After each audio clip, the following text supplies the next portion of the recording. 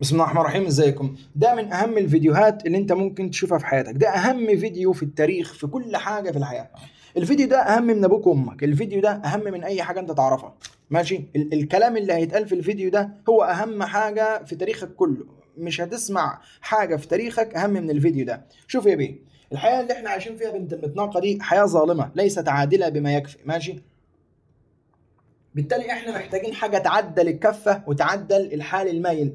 الحياة اللي إحنا جيناها دي فيها صدف كتير وفيها حاجات مش مفهومة وفيها حاجات ما ملهاش تفسير. مشتري القوس هو هو يعني الطبق الذهب اللي هيكون عليه الحظ وإن الأشياء تمشي بسهولة ويسر وتمشي بدون مجهود وبدون تعب كبير. ممكن تتعب وتكرف كرف الحمير وما توصلش لحاجة. فأنا محمد من ضمن الناس التي يعني أو الناس الذين يؤمنون إن الحياة دي مش عادلة ولا حاجة. فمشتري القوس هو اللي بيرجح الكفة المايلة. ومشتري القوس هو اللي بيجيب حظ هو اللي بيجيب صفا هو اللي بيجيب فلوس كتيرة جدا. وهو اللي بيفتح أبواب كانت مغلقة. وهو اللي بيطلع الناس من السجن. وهو اللي موجود سنة 1984 ولا 48 1948 اللي موجود في خريطة إسرائيل اللي فشخ الجماعه فشخ. فش- فشخ فشخ كوكب الأرض كله. جايبه أمريكا مسخراه عندها فأنت دلوقتي لما تيجي تتكلم عن مشتري القوس أنت بتتكلم عن حالة استثنائية. انت مش بتتكلم على أي حاجة. وكل واحد يقدر يستفاد من مشتري القوس ده.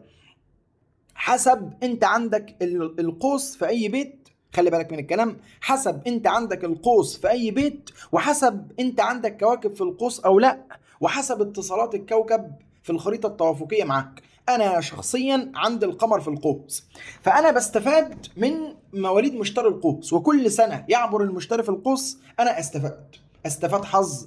استفاد تفاؤل استفاد نفسية استفاد روح معنوية استفاد أنا مستفيد من وجود مشتري القوس في حياتك. هم فتحة خير. أنت كشمس القوس مستفيد إن هم يحسنوا شخصيتك يعملوا لك قيمة يعملوا لك مكانة. آه يعني تتفتح لك أبواب برضه بس آه آه، الأبواب دي هتعدل في هويتك وأخلاقك وطباعك. يبقى أنت كشمس القوس مستفيد من من مشتري القوس.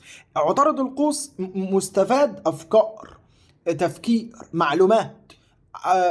طريقة تفكير مختلفة تصحيح لأخطاء لأن عطارد القوس دول شوية بهايم يعني أي إنسان عنده عطارد القوس أنت حمار أنت من الحمير اللي ربنا خلقها على وجه الأرض. نتفق أنت عطارد القوس أنت من أنت من البهم والغنم اللي ربنا خلقه. فمشتري القوس بيعدل لك شوية من أفكارك الح... الحميرية اللي فيك. زهرة القوس تستفاد من اقترانها وصحبتها مع مشتري القوس. مريخ القوس يستفاد وي- ويستفيد من اقترانه وصحبته مع مشتري القوس. مشتري القوس جنب أخوه مشتري القوس. اتنين ات- مشتري القوس جنب مشتري القوس هم شخصيتين لهم نفس الفلسفة بالظبط. زي ما أنا قلت معرفش طلعت في التسجيل أو لأ. عندنا موتور أربعة سلندر وجنبيه أربعة سلندر تاني يبقى الإجمالي 8 سلندر. يعني حمار بيجر العربة أو حصان بيجر العربة وفي حصان جنبه تاني بيساعده بيجر معاه العربة. وفي حصان تالت بيجر معاهم العربة وفي حصان رابع بيجر معاهم العربة يبقى إيد على إيد تساعد يبقى ده المشتري في القوس جنب المشتري في القوس. يعني أنت كإنسان عندك المشتري في القوس لو عرفت أشخاص زيك مشتري القوس حظ زيادة حظ أنتوا الاتنين بتزودوا حظوظ بعض. ممكن صح يبقى في اختلافات في حاجات تانية لكن المشتري اقتران المشتري ما يضرش ولا حاجة. لو كانوا من نفس الجيل أو كان الفرق فيما بينهم 12 ومضاعفاته. العيال بقى ال- ال- الخنازير اللي عندهم زحل في القوس لعنة لعنهم الله يمحيهم من الوجود العيال دول بقى العيال دول أنا في حياتي ما كرهتش قد برج الجدي. يعني أكتر ناس كرهتهم في حياتي برج الجدي. اللي بعدهم برج العذراء وبرج الثور والأبراج اللي أنا بكرهها الحوت والسرطان الأوساخ الترابين والمائيين م- المشكلة ال- العيال بتاع زحل القوس الملابيس الكفرة الأنجاس عبده إبليس دول العيال دول أنا بكرههم أكتر من برج الجدي. العيال دول وصلوا معايا في الكره والعداوة بعد ما خلاص أنا عملت update للكراهية عندي. العيال دول وصلوا إن هم رقم واحد في الناس اللي أنا بكرههم. بكرههم بكرههم يعني مش بكرههم آه، كره بسيط. لا لا لا ده أنا ده أنا ده أنا لو لو يعني أمسك الحكم أو أتحكم في الأرض العيال دول أنا بدفنهم أحياء. أقسم بالله العلي العظيم العيال دول بكشف عليهم بدفنهم أحياء. بضطهد دين أمهم. آه، فالعيال ال- الملاحده دول ال- الملاعين دول اللي عندهم زحل في القوس لما يقترنوا مع مشتري القوس بيحصل حاجات كتيرة بقى. هنا بقى اللعبة. ممكن ينحس المشتري. يعني ممكن صاحب المشتري يتضرر من صح من زحل كل اللي فات كل اللي فات من عمري عدى كأنه ساعات أول ما شفت عينيك. كل اللي فات ما, يضرش. يعني الشمس جنب المشتري ما تضرش. القمر جنب المشتري ما يضرش. عطارد جنب المشتري شوية عطارد بيعمل تشتيت للمشتري. ممكن عطارد القوس يضر المشتري في القوس وده وارد. الزهرة في القوس ما تضرش. المريخ في القوس ابن الكلب ده يضر شوية. يعني المريخ ده نحس أصغر فأكيد هيضر المشتري.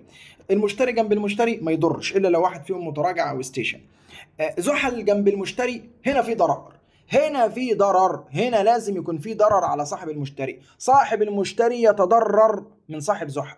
قولا واحدا النحس الأكبر جنب السعد الأكبر.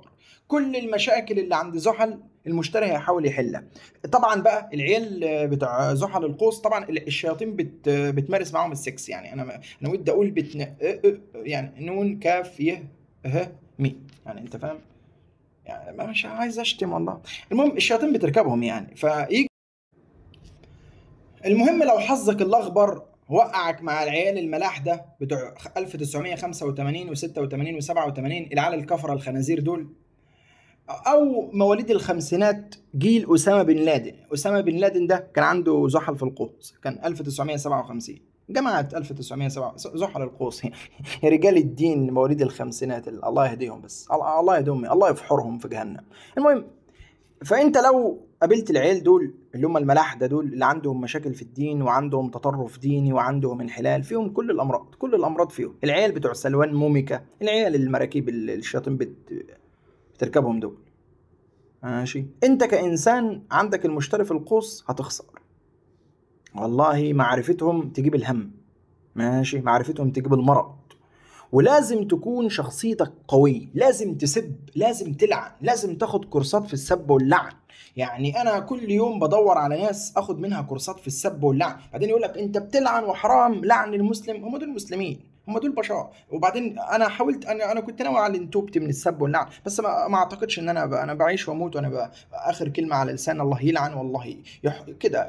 ما, ما, ما صعب صعب أعيش بدون لعن. صعب صعب. ما, ما, ما لا تحاول. العيال بتاع زحل القوس كيف تتعامل معاهم ده دي مشكلة. يعني مشتري القوس يفقد طاقته كلها عند ال... عند زحل. المشتري ده الكبير العظيم الخطير يتنكب نكبة عند زحل. نكبة نكبة. نكبة الأولين والآخرين. ولا خلاص يعني يفقد طاقته يفقد آه الحظ يفقد السرعة يفقد الانطلاقة يفقد الحركة يفقد يفقد خلاص الكوكب بيتدمر. الحظ والخير اللي كان في حياتك يا مشتري القوس يروح عند زحل القوس يطير. خلاص ده أنت جبت واحد كافر ملحد عبد إبليس عبد شيطان ابن حرام مصفي. في جميع الأمراض في جميع العلل خنزير يعني في خسة في ندالة في وساخة في سفالة في قلة أدب في لعانة في كل الصفات ال ال ال اليهودية الشيطانية الإبليسية الكفرية في, في, في الإنسان ده. طب أنت هت يعني هتعالج ولا إيه؟ هتعيش حياتك كلها وأنت بتعالج في الإنسان ده. أنت بتحفر في المية أنت أنت بتضيع وقت. أنت يعني أنت بتتعب نفسك على الفاضي.